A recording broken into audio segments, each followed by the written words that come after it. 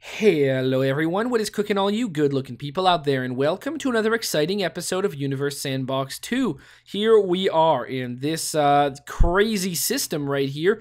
Uh, it's a simulation of an Earth solar system, which seems to cause many impacts and many crazy things to uh, to go wrong. Lots to calculate here, as we can see uh, the Earth going around there. Now, if you guys have uh, any uh, concerns about um, performance, just know that I am recording at the same time. Just take a big performance hit on the computer. Um, so there is that. Um, today we are going to explore uh, a lot of maybe some other cool simulations. That would be nice. Galaxies, we haven't really. All right, let's see. Wow. It's not what I was thinking of when we looked at a galaxy. Oh my god. Well, I mean, it is cool. It's a lot more organic.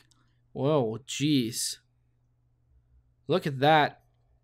That is, that's interesting. Uh, home, uh, elliptical, sure. Man, that's that, that's a weird galaxy simulation. Collision. So it's two, all right, two sort of galaxies uh, colliding with each other. Let's fast forward. Eventually, we'll see it happen. Two million years, three million. This one seems to be expanding. Oh, wow. Well, there you go. That one's just kind of blowing up.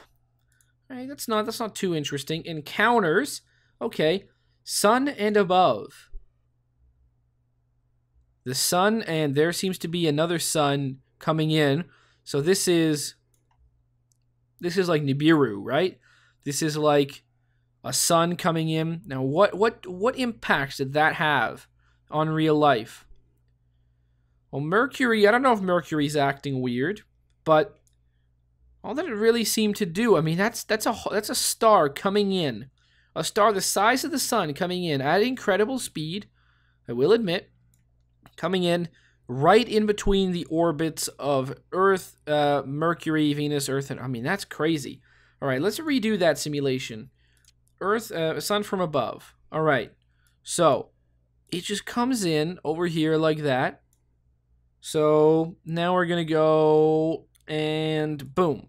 All right, that seems fantastic. So now we've got this one.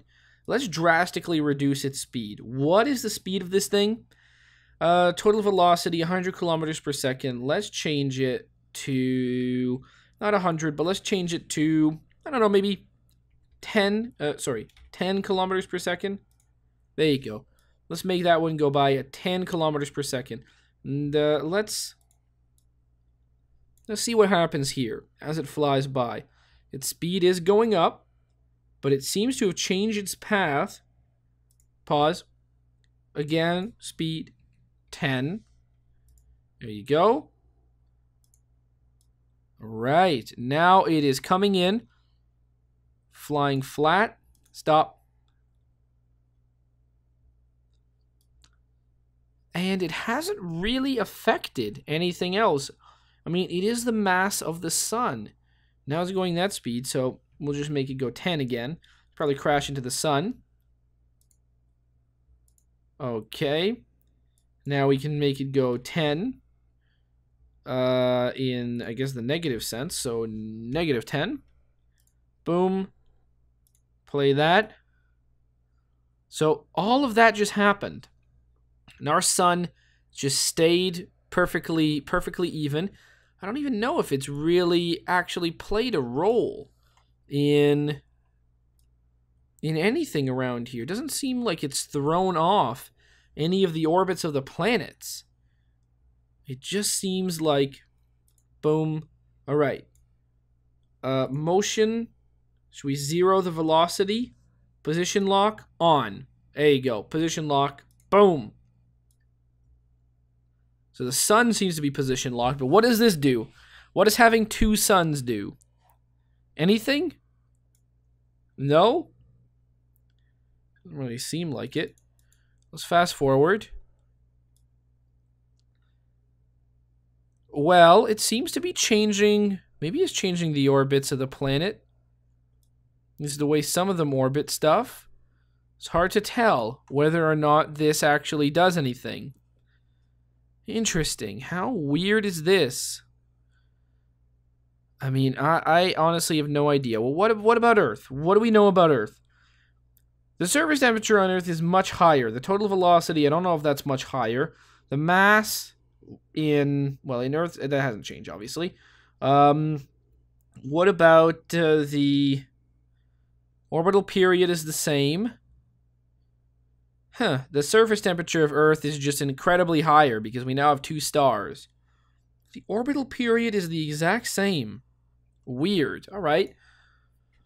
Let's uh let's do a uh, a grid. No, I don't want to do a grid. A chaotic orbit uh system video system B. Uh stop. I don't understand what we just what we've just witnessed, so I'm going to undo that. Choreo, no. Collisions. Sure, let's check out some more collisions. Um, Earth and Jupiter. Womb. Wow. Well, hey, it's affected Jupiter quite a bit. That's pretty cool. Home. Uh, Wolf and Earth. Oh, that, okay, there you go. There's Earth crashing into a star. Wow, really seems to really seems to have done something there. Wow, that's pretty crazy. All right, home, Earth, and Sun. The Sun unaffected. Yep, the Sun seems to be rather unaffected by what just happened to it. What about Earth and asteroid? All right, let's see. Let's see what this does. Let's uh, let's fast forward. Oh, seems like uh, maybe global temperatures have. Well, global temperatures have. Maybe are they dropping? Yeah, global temperatures are dropping. I think it might be, there might be some greenhouse effects. Oh yeah, look at that. The ice, the ice, the poles are getting much bigger. So that really would change the Earth's climate substantially, and only a few degrees drop is causing, uh, I mean, really the big expansion of um, of the ice of the ice caps. I mean, that is that is crazy. Uh, you can see ice has now gone down very low. The Earth's axis might have completely changed as well. Do we have? Is that a thing? Motion is position, velocity, orientation. No, the Earth's axis didn't change. But really, the Earth is getting cold with no signs of stopping. So if we change that to Snowball Earth has now happened. Uh, things are frosting over, as you can see. Boom. And the temperature doesn't really seem like it's going to recover. All of that happened within a year. Everything on Earth is pretty much dying. It's getting worse, 50 degrees. The last of humanity is, is dying right now. And there you go. We can only live so through so much. And this doesn't really seem to I mean, it's just it's just completely messed up. So what what kind of an impact was that? Earth versus an 85 meter, 17 kilometer I don't know what 85 m, 17 kilometer. I'm assuming 17 kilometer or two. Hmm. I don't know what the M stands for. 45 degrees. Earth Moon in slow motion is another one, which we've already done, but that's okay. So this one, that one's just going to have much more profound, quick effects. Global temperature initially rises, but then uh, very quickly, things are going to um, devolve into a much worse situation. There you go. Beautiful. All right. The Earth's climate has not changed, but starting to drop already within a few days. Oh, there you go. And the further impacts kind of warm it up, but now it does look like it is in a permanent decrease. Yeah, all right, things are getting bad. It's eight days, and already, already things have gotten much colder. Earth and Moon in slow motion.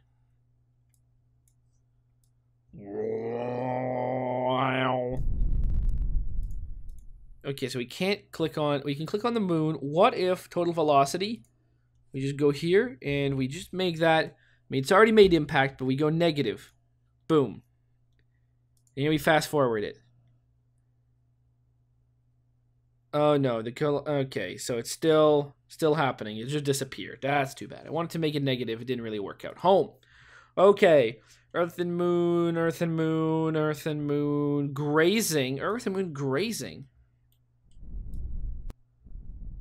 Wow, that's a cool effect. I mean, that wouldn't that wouldn't do very well. Uh, Earth and Moon grazing HV. Wow, that just sucks in the moon, doesn't it? Earth and Earth and Moon times Earth and Moon times five. Boom. Oh boy, that would that would not go well, an impact like that.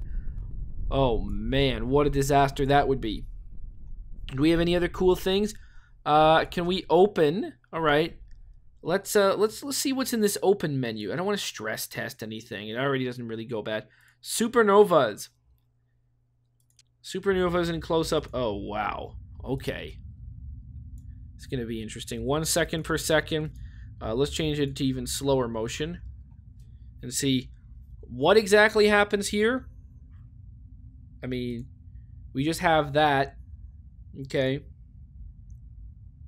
Supernova remnant. Nothing happen? Oh. Anything happen? Oh, hold on. Let's see. Is anything going up? Is the mass or any numbers changing? Can't tell. Motion. Honestly, I have no idea. Supernova Remnant. Seems like it's just disappeared. Oh. Well, that's too bad. Home. Stellar evolution of our sun.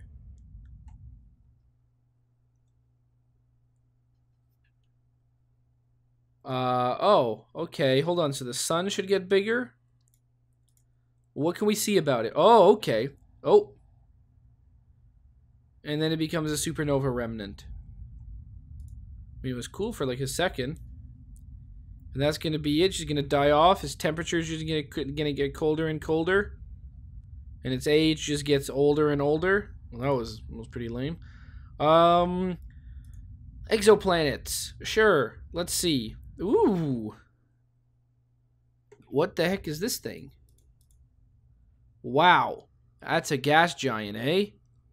Oh, 61 V. Okay, so that's like maybe a real one. Oh, that's interesting. Okay. Uh, what if we have about uh, supernova uh, experiments?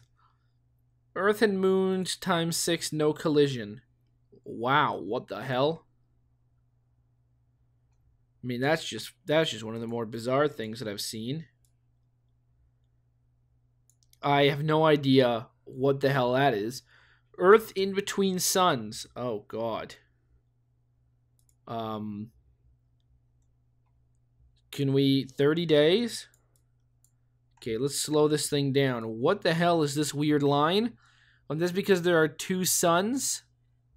Oh, so that's like a night line? Really, night is like a weird circle.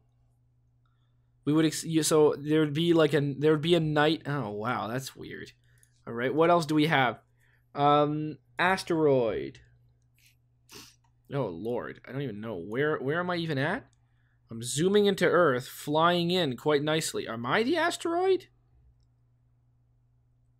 Honestly, I don't know what we're watching, but okay. Um, Earth next to Sun. Is this the Earth? It doesn't it doesn't look it doesn't look promising for the Earth. I'll be honest. Its velocity is extremely fast. Oh, look at that. So we have Earth right next to Sun. We have Earth. Oh, wow, that's very close. That thing is going to be dead. That thing is going to be. I mean, that's that's pretty bad. But that's that's one tenth the distance. That is a quarter of the distance, and that seems to maybe be sustainable for life. A quarter of the distance. That is a one. That's half the distance. Yep, that seems to totally work out. That is Earth. This is Earth a little bit further. Still seems to work out. Earth a little bit further. Yeah. Earth six times. Is it six Earths? Six distances? Wow, even six distances it seems to work out. Wow, so the habitable zone is really big. It's about uh, it's about 0.5 AU to 6 actually seems to all work. That's pretty big. All right, I can I can deal with that. Anyways, that was fun looking at a lot of stuff today. Hopefully you guys have enjoyed this episode, and as always, tune in tomorrow for more Hot Universe Sandbox 2 action. Aw, yeah. Cue the royalty-free music. Three, two, one, go. Come on, everybody, get on your feet. Stand up, look at the screen, and repeat. I'm gonna like, rate, comment, and subscribe. I love watching Athervids all of the time. Thanks for dropping by and spending the time. Hope you've enjoyed, and let's get on with our lives. Oh, yeah. Thanks to Kevin MacLeod for these awesome beats. Woo, yeah. Have a good one.